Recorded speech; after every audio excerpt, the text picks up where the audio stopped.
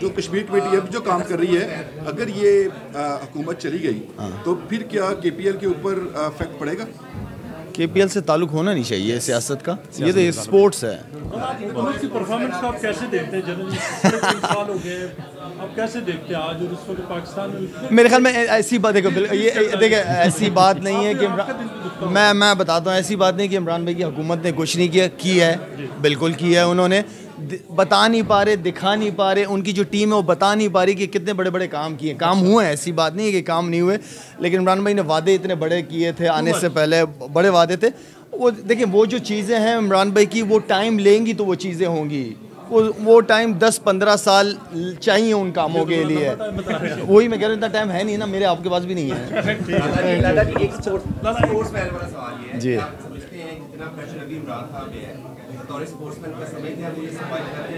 देखिए no doubt Imran भाई ने ज़िंदगी में क्रिकेट में बहुत ज़्यादा प्रेशर लिया है। ये प्रेशर भी ले रहे ही होंगे और लेना पड़ रहा होगा। ये टोटली डिफरेंट बॉल गेम है सियासत। ठीक है, इतना डिफरेंट है कि उनको करीमाबाद भी आना पड़ गया और उन्हें वहाँ पे भी जाना पड़ गया। तो मेरे ख्याल में ये टोटली डिफरेंट बॉल गेम है सियासत। इसमें कोई मैं नहीं होता। इस चीज़ के अंदर मैं नहीं है। इसमें ये मुल्क सबका मुल्क है। इस मुल्क में अपोजिशन के अंदर भी अच्छे लोग हैं। और हुकूमत के अंदर भी अच्छे बुरे लोग हैं।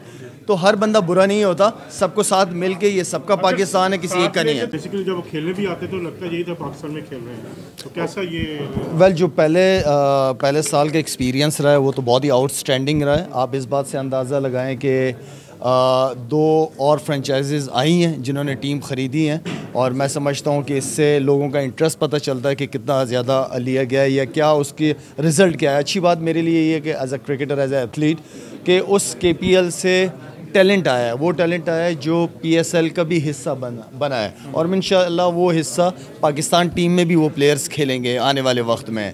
तो ये जो इनिशिएटिव है, बहुत आउटस्टैंडिंग बहुत ज़बरदस्त ग्लोबली एक बड़ा पॉजिटिव मैसेज गया है कि जिस तरह कश्मीर की बात ग्लोबली की जाती है, बताया गया है इस के के थ्रू के कश्मीर जो है, वो क्या चाहता है? वहाँ के लोग पुरमन लोग हैं, प्यार मोहब्बत वाले लोग हैं, वो आम आदमी की तरफ़ पढ़ना भी चाहते हैं, खेलना भी चाहते हैं, वहाँ के बच्चे पढ़ना चाहते हैं, खेलना चाहते हैं। तो के पी एल ने ख़ास तौर पर आरिफ ने, आरिफ मलिक साहब ने और शहजाद शहजाद भाई ने बड़ी ज़बरदस्त अपॉर्चुनिटी दी। ये इनिशिएटिव लेना बहुत बड़ी बात थी।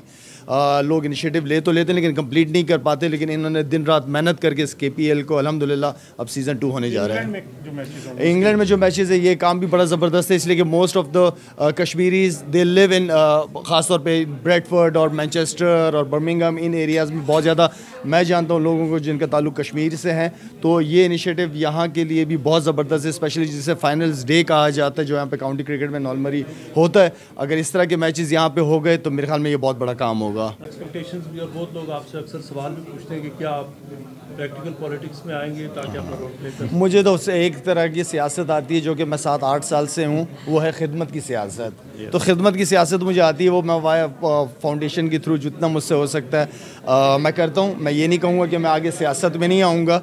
मैं नहीं चाहता कि मुझ भी लोग कहें कि यू टर्न ले रहा है।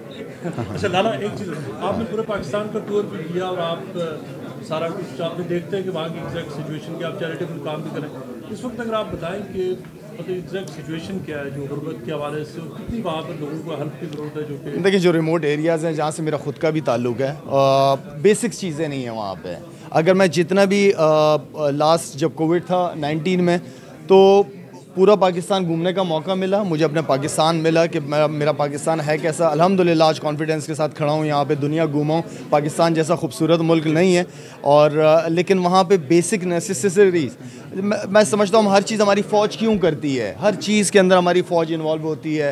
आ, मेरे ख्याल में जो गवर्नमेंट के काम है वो गवर्नमेंट को करने चाहिए। मैं एल पे गया मैं वज़ीरस्तान गया मैं बलूचिस्तान गया जहाँ जहाँ देख रहा हूँ फ़ौज की ही एफर्ट नज़र आ रही है मुझे। तो अगर हुकूमतें साथ मिल के फ़ौज के साथ मिल के काम करें उन एरियाज़ में जहाँ हकीकत में लोग डिज़र्विंग है जहाँ पे हॉस्पिटल्स नहीं है जहाँ स्कूल्स नहीं है जहाँ इवन के साफ़ पीने का पानी नहीं है बच्चे बच्चियाँ आठ आठ नौ नौ किलोमीटर पैदल जाके वहाँ से पानी लेके आते हैं तो तब्दीली अब सुना कि तब्दीली जा रही है और साढ़े तीन साल भी गुजरे ये काम वो तब्दीली की हुकूमत नहीं कर सकी। तरीके अदम भी आ रही है। तो जो आप समझते हैं हुकूमत फेल हुई साढ़े तीन साल में जो बेसिक नेसेसिटीज़ ना दे सकी। मेरे ख्याल में इलेक्शन से पहले जो जो कमिटमेंट आवाम के साथ इमरान भाई ने की है मेरे ख्याल में वो बहुत ज़्यादा कर दी थी उन्होंने।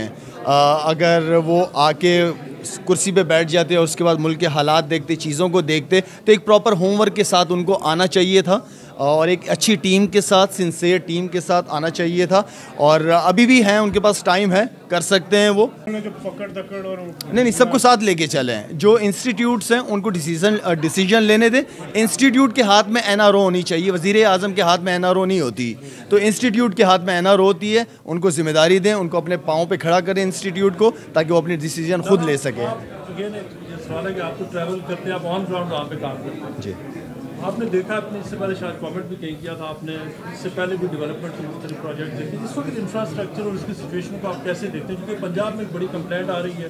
पीटीआई के लोग अब रिवेलियन कर रहे हैं कि वहाँ पर डिलीवरी नहीं है उस्मान बजार साहब से वो सेटिसफाइड नहीं है। पी में आप सारे देखा देखें काम हुआ है के पी के के अंदर ख़ास तौर पे स्वात के अलावा स्वाद में बहुत काम हुआ है के पी के के अंदर, और हेल्थ की वजह से जो इमरान भाई का इनिशिएटिव था हेल्थ के हवाले से ये बहुत बड़ा इनिशिएटिव था, जो दस लाख दस लाख का कार्ड दिया है इनको पूरी फैमिलीज़ के लिए, सेहत कार्ड का, ये बहुत बड़ा काम है, आज तक ये काम कभी नहीं हुआ। लेकिन उस बंदे ने करके दिखाया, इसके अलावा डैम्स के हवाले से अगर काम देखा जाए वो बड़े ज़बरदस्त काम लिया है। इतने अरसे से डैम की सख्त ज़रूरत है पाकिस्तान को और और, ये इनिशिएटिव लिए गए लेकिन मैं ये समझता हूँ कि बहुत सारी चीज़ों को देखें सिर्फ़ अगर मैं कहूँगा कि मैं अकेला पाकिस्तान चलाऊँगा तो ये पॉसिबल नहीं है। ये पॉसिबल नहीं है। या तो आपके पास इतनी तगड़ी टीम होनी चाहिए जो आपका फेस हो जो टीम की परफॉर्मेंस बात करे वो खुद आके माइक पे और टीवी पे रोज़ बैठ के बातें ना करें।